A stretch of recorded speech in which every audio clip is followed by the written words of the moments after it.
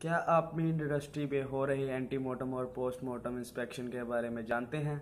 अगर नहीं जानते तो आप ये वीडियो देखते रहिए। नमस्कार दोस्तों, मेरा नाम है अखिल और आप देख रहे हैं फ़ूड टेक्नोलॉजिस्ट और आज का हमारा टॉपिक है post postmortem inspection, antemortem inspection.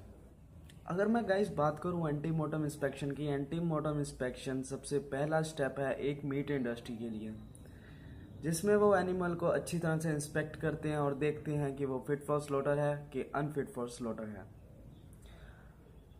Antemortem inspection एक वेटनरी डॉक्टर के द्वारा परफॉर्म की जाती है और वेटनरी डॉक्टर का ड्यूटी है कि वो ईच एंड एवरी एनिमल को अच्छी तरह से चेक करे और उसे तीन कैटेगरी में कैटेगराइज करे। पहली कैटेगरी फिट फॉर स्लोटर दूसरी कैटेगरी अनफिट फॉर स्लोटर तीसरी कैटेगरी सस्पेक्ट फॉर स्लोटर पहली कैटेगरी की बात करें जो कि है फिट फॉर स्लोटर ये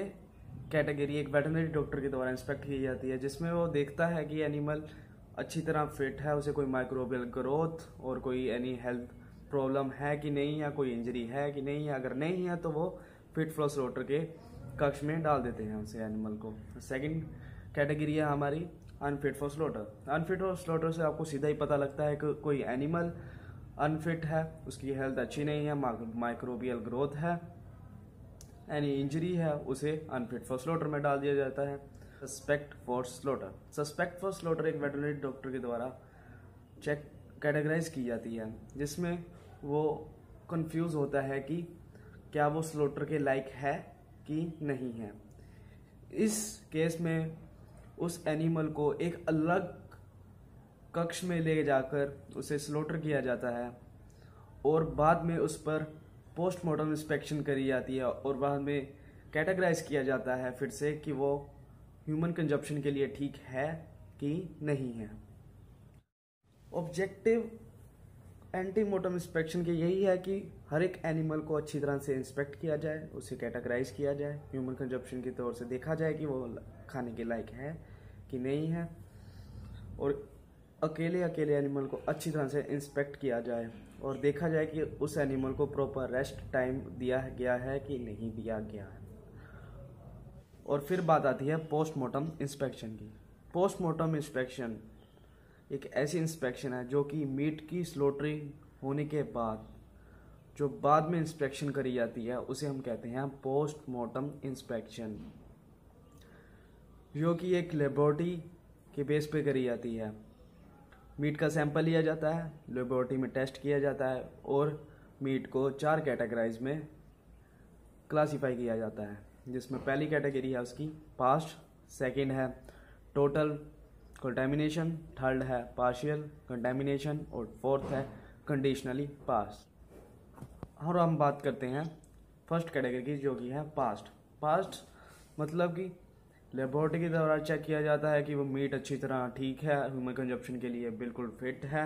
उस पर कोई माइक्रोबियल ग्रोथ नहीं है, सो उस मीट को हम पास कर दिए जाते हैं, जो कि फर्दर प्रोसेसिंग के लिए, जो कि है पैकेजिंग उसके बाद आती है second category fully contamination fully contamination मतलब फुली कंटेमिनेशन और total contamination fully fully contamination मतलब कि वो हमने मीट जो स्लोटर किया है, उस पर माइक्रोबियल ग्रोथ हो गई है, वो फिट फॉर ह्यूमन कंजप्शन नहीं रहा है, उस पर कोई ना कुछ इन इम्प्योरिटीज़ ऐड हो गई है। तो उसे अलग कर दिया जाता है और उसे डंप कर दिया जाता है। और सेकंड कैटेगरी आती है हमारी पार्शियल कंटामिनेशन जो कि आप हेडिंग से ही समझ गए होंगे कि पार्शियल कंटामिनेशन का क्या मतलब है कि यानी कि थोड़ा सी कंटामिनेशन हुई है, ज़्यादा कंटामिनेशन नहीं हो पाई है, लेकिन वो ह्यूमन कंजप्शन के लिए ठीक नहीं है, क्योंकि अगर उसे फर्दर प्रोसेसिंग के लिए डाल दिया गया तो वो फुली कंटेमिनेट हो जाएगा, इसलिए उसे भी अलग कर दिया जाता। और फोर्थ कैटेगरी आती है हमारी कंडीशनली पास कंडीशनली पास एक ऐसी कैटेगरी है जिसपे ना ही मीट पे कंटेमिनेशन हुई होती है, ना ही कोई माइक्रोपिल ग्रोथ होती है। Due to improper slaughtering की वजह से उस मीट को कैटेगराइज किया जाता है। इसका मतलब है कि उसमें ज़्यादा कट लग चुके हैं, ना ही वो खाने के, ना ही वो देखने के लायक नहीं रहा, खाने के लायक तो रहा, लेकिन ये डिपेंड करता है जो कि पोस्टमार्टम इंस्पेक्शन कर रहा है। उसे अगर वो सही लगा मीट वो आगे पास कर दे अगर नहीं लगा तो वो अलग कर देगा उसे, यानी कि डंप कर देगा। पर ज़्यादातर मौक़ों पे उस मीट को पास कर दिया जाता है, क्योंकि उस मीट पे कोई माइक्रोबियल ग्रोथ और कंटेमिनेशन नहीं होती तो उस कारण से उस मीट को पास कर दिया जाता है। अगर मैं गाइस बात करूँ उसके मेन ऑब्जेक्टिव यानी कि पोस्टमार्टम के मेन ऑब्जेक्टिव के बारे में तो इसका एक ही ऑब्जेक्टिव है कि वो ह्यूमन कंजप्शन के लिए बिल्कुल फिट रहे और उस पर कोई भी बैड हेल्थ बैड इफ़ेक्ट ना डाले ह्यूमन की हेल्थ पर। और गैस यही था डिफरेंस पोस्टमार्टम और एंटीमार्टम इंस्पेक्शन के बारे में। अगर आपको वीडियो अच्छी लगी तो आप लाइक करें सब्सक्राइब करें कमेंट करें।